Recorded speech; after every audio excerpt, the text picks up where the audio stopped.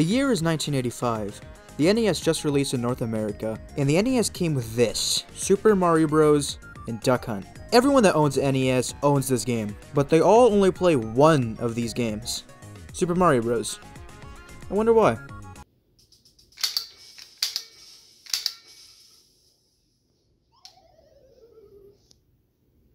Oh, that's why.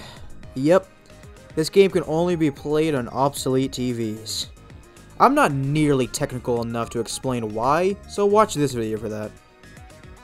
But is it even worth the trouble to play it?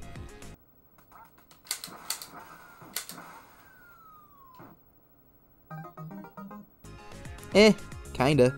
But to even play the game, you need this. The NES Zapper. Plug it in and start shooting. The goal of the game is to shoot the ducks out of the sky. You only get 3 shots so don't miss. You can actually control the ducks with the controller, making it harder for the person shooting. The game goes on to round 100, or when 5 birds fly away. There are 3 modes. The first one only has one bird come out at a time, the second one has 2 birds, and the third one is clay pigeon shooting. This one's a lot harder. Luckily, I have a special strategy. Yep, aim is not needed to succeed. It is needed to have fun though. This gets boring after one minute.